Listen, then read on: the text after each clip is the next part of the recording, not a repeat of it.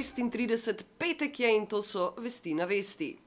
Po mnenju SDS-a je v državnem zboru prišlo do industrijske špionaže.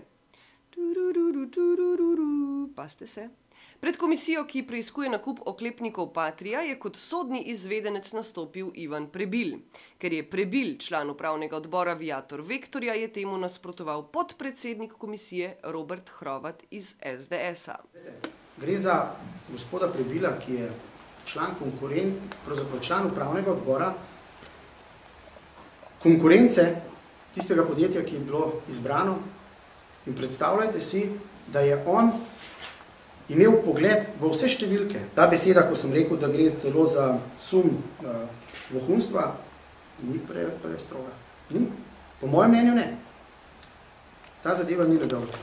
In kaj je o tem povedal Prebil? Gospod ne razume tehnike, da je to zelo nekorektno. Predsednik komisije Milan M. Cvikl iz SD-ja je z delom komisije nadaljeval, kljub temu, da je Hrovat sejo zapustil. Jaz razumem, da vas moti, da imamo že štiri izvedenska mnenja, ki dokazujejo, oba, ki dokazujejo, dokažite obratno, gospod podpredsednik, vi ne želite razprave o tem, ki dokazujejo, da je posel netransparenten, da je negospodaren, ter da obstaja neposredna in posredna povezava med ljudmi, ki so ta posel delali v obdobju 2004-2008 in ki so se igrali z mednarodnimi aferami in z učinki na mednarodno podobo Slovenije v trgovini z orožjem 1993. Ni treba odgovarjati. Jaz sem vam povedal, da seveda razumem vaš proceduralni zadržek, vendar je sedaj ima besedo gospod Prebir. Prosim, izvolite. Ni nekaj izvedenc, ja, in jaz sem izvedenc. Ministr za javno upravo Gregor Virant je v odzivu na napoved slovenskega sodniškega društva, da bodo sodniki prmej duš v torek ob 13. uri izvedli upozorilni protest, zatrdil, da pač ne bo več popuščal. Nekoliko več popustljivosti pa je napovedal pri pogajanjih s sindikatom zdravnikov Fides. Vlada je danes obljubila, da, bomo, da bo v torek kot znak dobre volje eh, predstavila svoj približevalni predlog Fidesovemu predlogu, računamo pa tudi kontra z njihove strani na približevalni predlog. Predsednik odbora za finance pri LDS Draško Veselinovič je vlado pozval naj, tako kot je to napovedal finančni minister, čim prej izvede rebalans proračuna. 6,9 odstotka je res že kar visoka inflacija.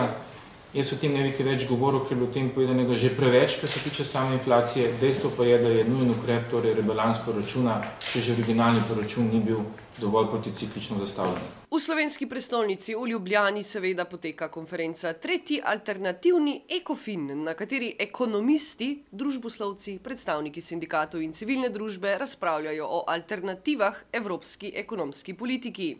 Mencingerjev Jože je takole pojasnil, zakaj gre na konferenci, ki poteka ob srečanju evropskih finančnih ministrov na Brdu.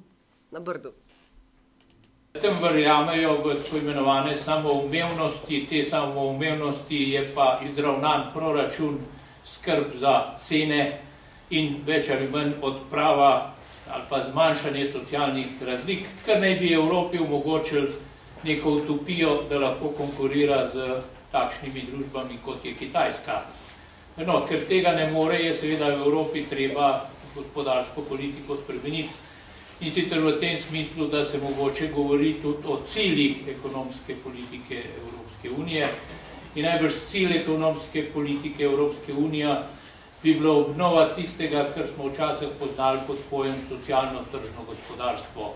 Županski Ljubljan, a ja ne, Ljubljanski župan Zoran Jankovič in predsednik uprave Elektra Ljubljana Mirko Marinčič sta položila temeljni kamen za novo razdelilno transformatorsko bzzz postajo. Najprej položila v enem, v eni plasti na že obstoječo podlago. Jaz se še sklonem po testih letih. Videli?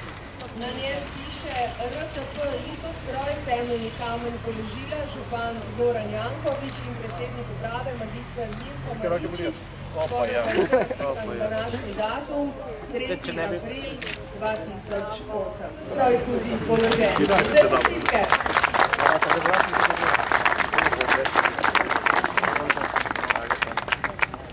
Dovolite, da skupaj nazdravimo. O vrhu NATO v Bukarešti, Komentar dneva Juri Gustinčič.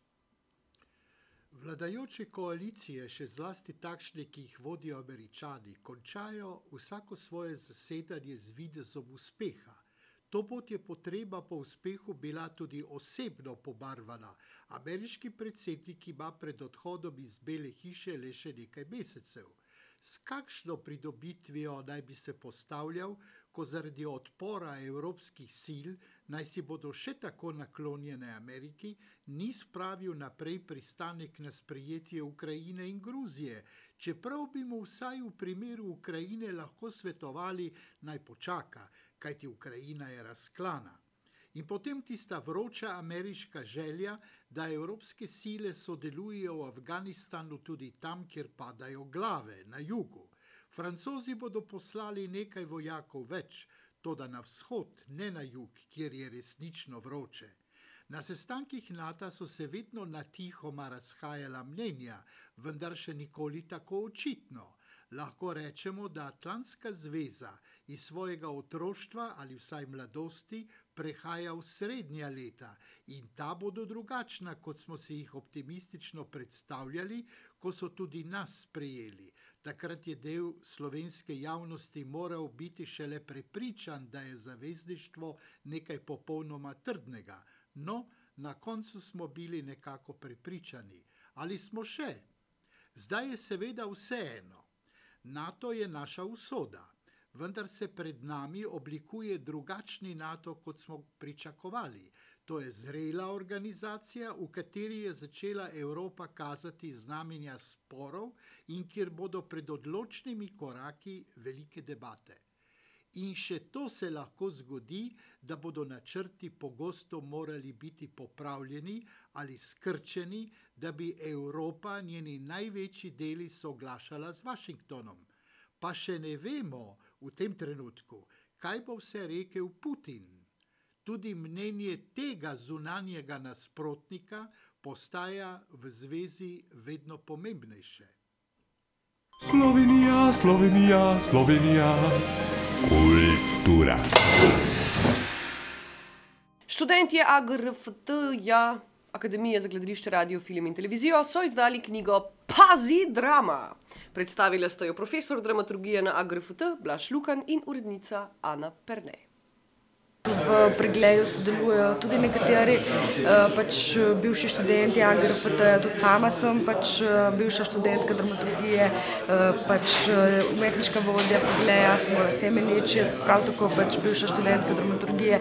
Tako da jaz upam, da smo jih pač pritegnili, da bojo še sodelovali. Zdaj o nadaljnjem sodelovanju pač se nadejam, da bo še prišlo do česa podobnega oziroma predvsem upam, da se bo recimo pač ta zbirka, ki jo odprla pričujoča knjiga na pobudo pač akademije, da se bo pač vzpostavila in da bo bila pač zelo močno prisotna v pač tem prostoru.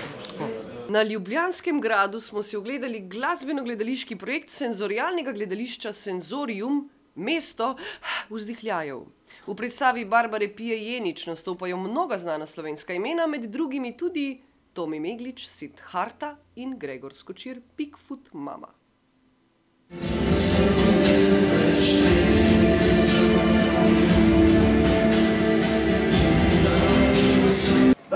In gospodje, Izkusili ste naše mesto vzdihljajev. upam vam, da na vam je bilo všeč in da vam je bilo lepo. In... A je skuhal črt kaj za jesti? Um, ja, še ni zastrupno. Uh -huh.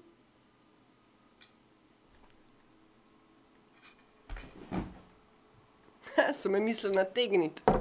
Kot vidite, vreme konkurenci ne bo naklonjeno.